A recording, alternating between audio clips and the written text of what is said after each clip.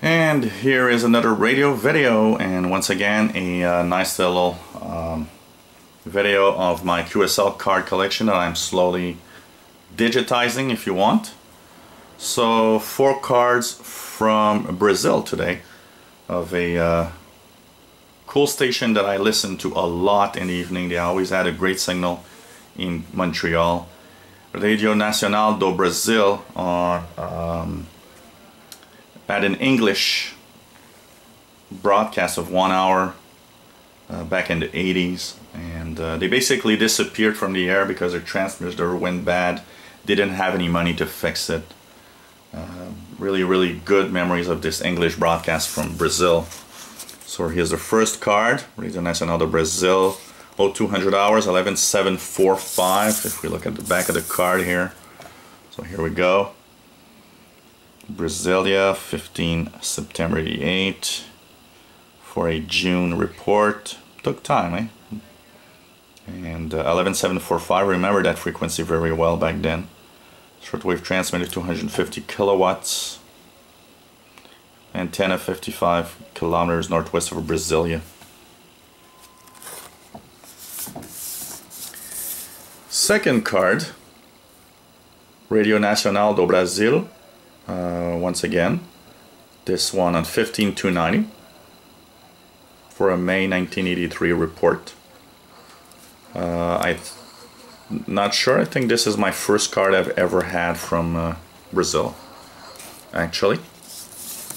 If we look at the back and here we go so now see it took time for uh, the reports. I made a report in May and uh, they would answer it in uh, well, this one is in June, is not bad. The other one was quite uh, far away. 15290, one of the other frequencies they would use for their broadcast in English. Um, I don't remember if they had both together or just one or the other, like 15290 in the summer and 11745 for winter. Uh, or they had both, I don't remember very well. Then, once again, Radio Nacional do Brasil um, in February 84 with another nice card. They had really nice cards of uh, Brazilian pictures there. And here we have the uh,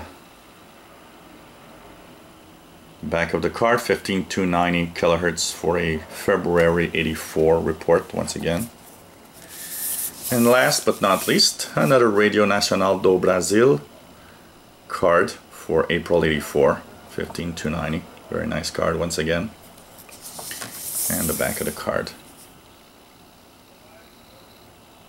So this was really really nice.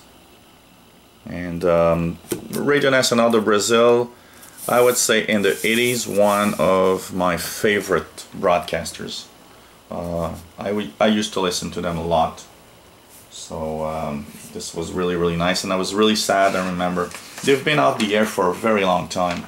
Um, I'm not even sure they were on the air in the 1990s um, I think they, they left shortwave in the, eight, the late 80s if I'm not uh, mistaken.